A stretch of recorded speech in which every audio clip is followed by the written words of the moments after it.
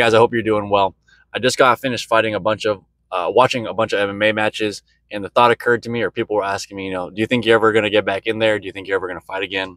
And to be honest, I don't know. I don't think I would just because I know it's a big time commitment. I know there's a lot of things that I got to do, a lot of things I have to do for my family, a lot of things I have to get done in other areas of my life. I don't know if I'm ever going to really seriously pick up uh, fighting again. That being said, I still do train. I still do keep myself in shape, even though I'm not going to go in the ring because I know that would take, you have to train three times a day.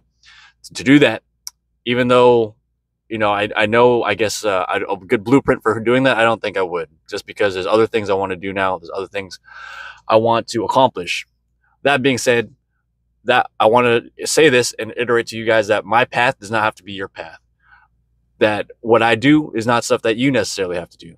But I want to just make it clear that there are certain milestones and certain fundamentals that you should be doing. You should be reading, you should be learning, you should be expanding, trying to expand your life in a certain way. So whether that's through the methods I use or through some different methods. As long as you feel like you're making forward progress, it's going to be good. So take it easy, guys. It's late Saturday night.